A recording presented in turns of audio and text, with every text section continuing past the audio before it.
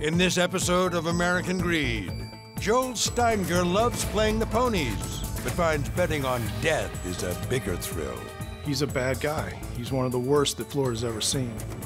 Steinger's company, Mutual Benefits, tells investors they can make a killing buying life insurance policies from dying patients. They were telling investors, listen, you're helping sick people have money in their last days. The $1.2 billion scheme even touches Olympic gold medalist Greg Louganis. HIV AIDS was still thought of as a death sentence. You know, I didn't know how long I had.